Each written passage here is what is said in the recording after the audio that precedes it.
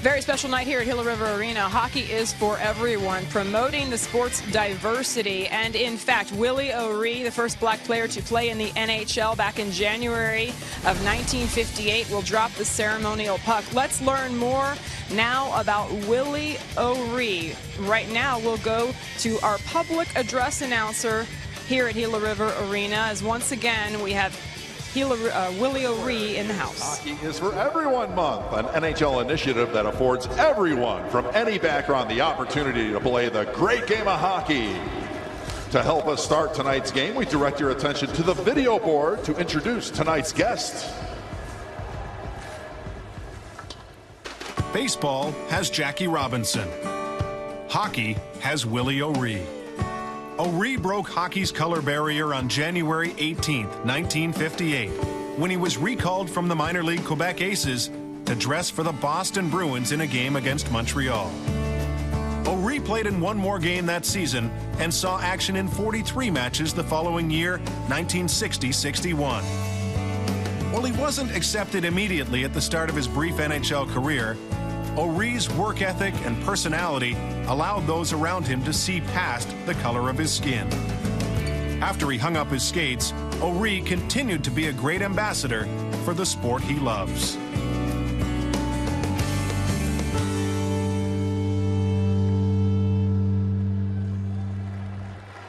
Ladies and gentlemen, please welcome NHL pioneer, legend, and ambassador, Willie O'Ree.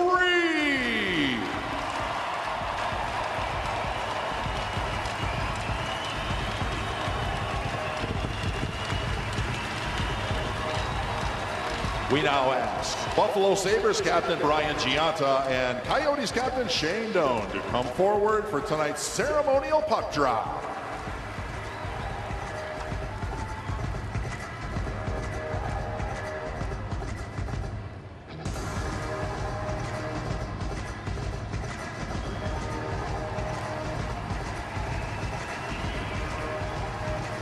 Once again, fans, Willie O'Ree, thank you for all you do to promote the game of hockey being for everyone. Willie O'Ree, ladies and gentlemen. Always great to see you, Willie O'Ree, and this is Hockey is for Everyone night here tonight. He's getting fist pumps right down the line across that Coyotes bench. That one misses as Bogosian jumped into the two-on-one with Juris without the puck going to the net. Gets it. Over comes Nilsson to make the stop. And it'll be picked up in over the line. Dome drops it in front. A shot. And stop that time. It's underneath Nilsson. What a play there. And that puck, I don't think was ever really frozen. DeAngelo sets this all up after almost scoring on his own net. He jumps up into the rush. That's what he does. Here's the pass, goes off the skate or Perlini. Not exactly sure who, where he was trying to go with that. I think maybe up the gut of the ice to Dvorak. Got to be careful of those ones. But then he jumps up into the play, takes everyone with him to the front of the net. That leaves Perlini wide open. Again, the middle of the ice, not being covered by the Buffalo Sabres. Yanked it off the boards again. Sabres, Jack Eichel coming away with it at center. He'll gain the zone. Eichel with a shot. Scores! Jack is back the score sheet. And what a dart that was. 1-0 with 159 to go in the opening period. Now that's going to be Jack's 14th of the season. And he just takes his puck, does it all himself from his own end, gets separation right here. And we've seen it so often, he doesn't take a lot of room to take the shot out. He likes getting the puck in tight to his feet, taking that quick snapper. And this is what he does right here. There's nowhere else for him to go. He just pulls it in. He uses the defenseman as a screen, takes the quick shot, and that puck goes right up underneath the bar. It hit the middle post dead. You could just hear the thud it made and back out again. Now Ristolainen. Here's a chance. Glove saved him in there on a bid. Uh, Ristolainen gets behind everyone. That is the winger's guy. You can't allow this to happen. Got DeAngelo taking this puck up the side wall, doing his job, and then McGinn goes down to him. You can't get puck watching. As soon as you get puck watching, that's when you get in trouble. That is McGinn's defenseman, right-handed shot, sneaking in back door, turns into a pretty good scoring opportunity. Now for the Sabres in a three-on-one, maybe a four-on-two as Eichel carries down the right side, lays it off, in front, Rodrigues scores! Evan Rodrigues as the Sabres send numbers forward to take a 2-0 lead here in the second period. Yeah, that's two goals in two games for Evan Rodrigues. Got one last night and here again tonight. But the Sabres are going to pick this puck up. As you said, Dan, it's a four-on-one. Turns into a four-on-two. And what a pass to tic-tac. Evan Rodrigues is going to be the guy. Ended up with the last shot. But Eichel does a great job making that initial play. Here he goes down the right wing. He's got O'Reilly with him. He makes the pass across to Jake McCabe. Jake McCabe, no hesitation. Perfect pass to Evan Rodrigues, and he puts it short side right at the top of the net. To get done. To the front. What a save. And what a save, Louis Domingue. Oh my goodness. See if that can boost his confidence. Louis Domingue, great glove. Big stops. Hasn't tested all that much, but Shot to goal. It's Max Domi on a turnover.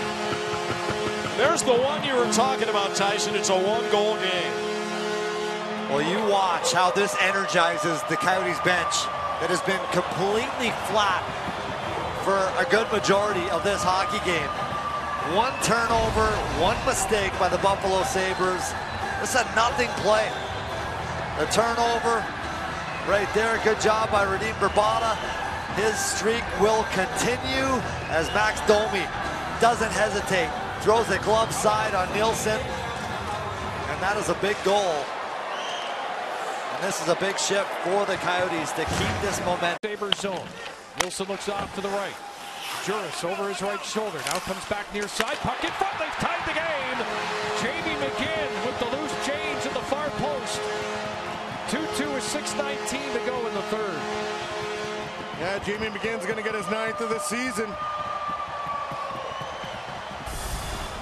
And there was just con uh, confusion, just a bad bounce is what happens there. That puck goes off Jake McCabe's left skate. When the puck is thrown to the front of the net, McGinn's the one that keeps it down low. The puck is going to get thrown to the front of the net. It's going to bounce off Jake, Jake McCabe's left skate directly to Jamie McGinn coming in off that far post. Sam Reinhart not able to tie him up in time. See right here as the puck's thrown to the front. Jake McCabe's skate hits it, bounced perfectly to McGinn coming to that post. Ski is upended. And now Vrbata. Vrbata looks, he shoots, he scores! Radim Vrbata with 18.9 to go.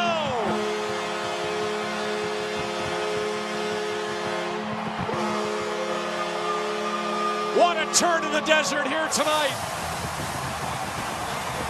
Four goals in his last four games for Radim Vrbata. You want to talk about a hot streak? He is rolling. Look at that pass to Goligoski, who gets tripped up by Nilsson. Vrbata picks it up. He knows he's got traffic in front. Everybody goes to the front of the net. They know time is an issue.